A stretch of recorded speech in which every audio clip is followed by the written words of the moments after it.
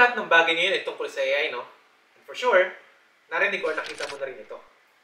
Kung hindi pa, panoorin mo tong video na to.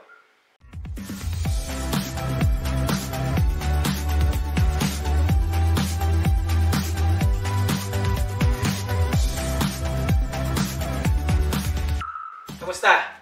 Kanti here from Expert Zone Southeast Asia team working with Microsoft. And sa video na to, mag-uusapan natin ng Copilot on Windows 11. So bakit Copilot? Bakit hindi? Well, kung hanggang ngayon eh hindi mo pa rin alam kung para saan ito, medyo late ka na. Imagine mo na lang na meron kang sariling assistant na pwedeng sumagot sa mga tanong mo anytime of the day. Microsoft Copilot is your intelligent AI companion that can help share the mental load. You can efficiently complete specific tasks na minsan ay hindi natin natatapos dahil distracted tayo. It helps you save time and focus on the things that matters more. Sobrang easy lang i-access ng Copilot. Click mo lang yung Copilot icon na makikita sa taskbar or by simply using the keyboard shortcut na Windows plus C.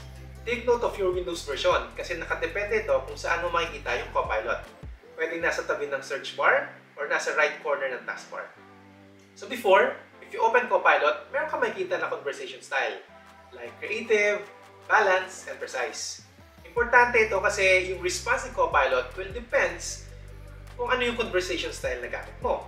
But now with the recent update, wala na ito. Alam mo bang merong 6 types of prompts na pwede mong gamitin para mag-utilize ng Copilot?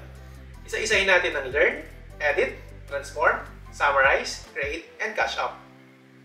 For example, meron kang gustong malaman na topic. Just ask Copilot, kagaya ng what's the current stock market price of the Philippines today. Isa pang gusto ko with Copilot is meron siyang follow-up prompt na pwedeng i-click ka agad para sa mga follow-up questions mo. You can ask Copilot to proofread for you. Can you check this paragraph for grammar or any inconsistencies? Pangatlo, transform.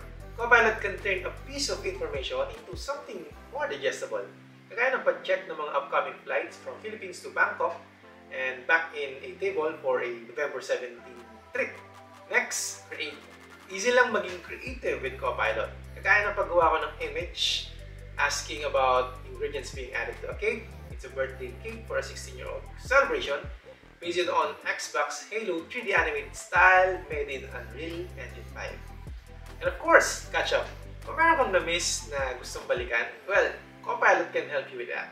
I asked Copilot to give me a summary of today's news and headlines in the Philippines, and you can also include to highlight the weather situation on certain area. Ngayon alam mo lang kung paano paggamit ng prompt, importante rin malaman na hindi laging tama or precise ang output ng Copilot, lalo na kung kulang ang prompt mo. Dito na papasok ang advanced prompt. So ano ang advanced prompt? Ang advanced prompt ay ang mas kumpleto at detalyadong prompt. Para mas madaling ma-process ng Copilot ang task na pinapagawa mo. Alam mo ba na mayroong 4 key elements ang advanced prompt? Una na dyan ang goal. What response do you want from Copilot? So ano yung mismong goal mo? Second, context. Why do you need it? And what it is for? Para saan ba yun? Pangatlo, source. What information or samples should Copilot use? Saan siya kukuha? And last, expectation. Is there any key information you can give so Copilot meets your expectation? So kailangan mas detalyado. As long as you have these key elements in mind, expect Copilot to give you answers created for you. Kung nagustuhan mo tong video na to, make sure to give it a like, subscribe, and share with your friends. Well, that's it for me. Kita-kits sa next video.